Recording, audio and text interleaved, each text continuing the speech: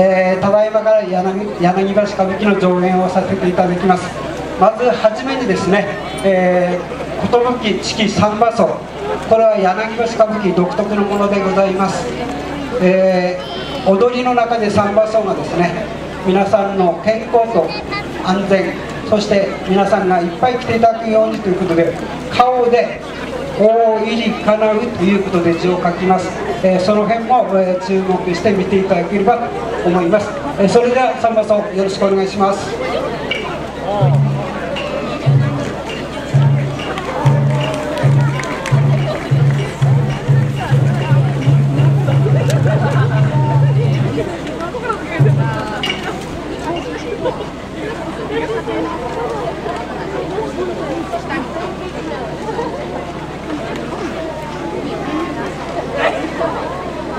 後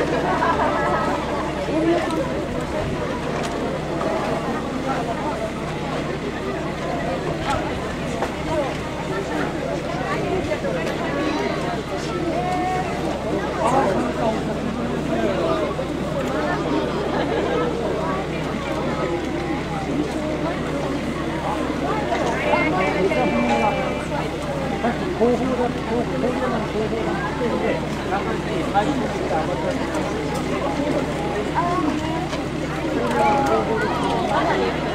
中に少し入ってき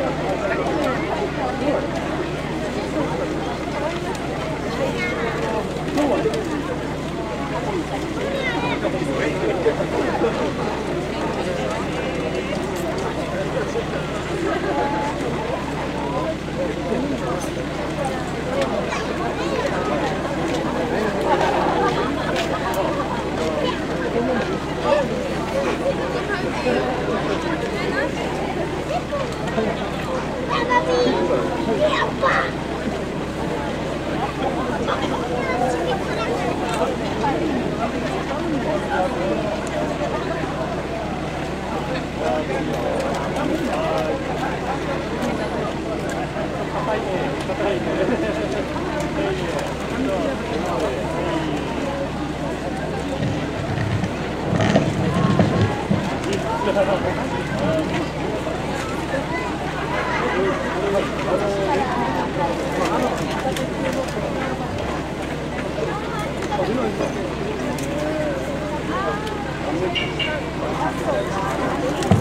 ンバサー